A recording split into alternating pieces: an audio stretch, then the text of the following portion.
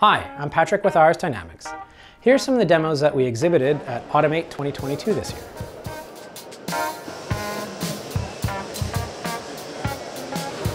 In this clip, we can see two actuators sharing force data with each other to create a perceived mechanical advantage. It's configured so that one motor is using a force sensing input while the other scales that data in software and applies it, in this case, to lifting the bowling ball. Conversely, the weight of the bowling ball can be felt through the other actuator as well.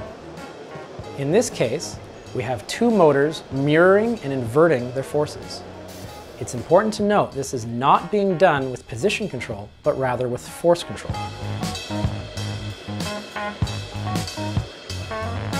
In this example, we're throwing and catching a bowling ball. We're not doing this based on timing or kinematics-based motion profiles. The catching action is triggered entirely from the motor sensing the force of the impact at the moment the ball touches the actuator arm.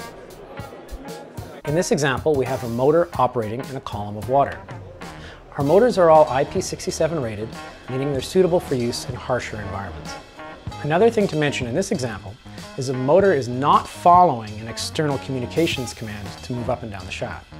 Rather, it's following a preset motion profile that was burned into the motor itself using our existing tools.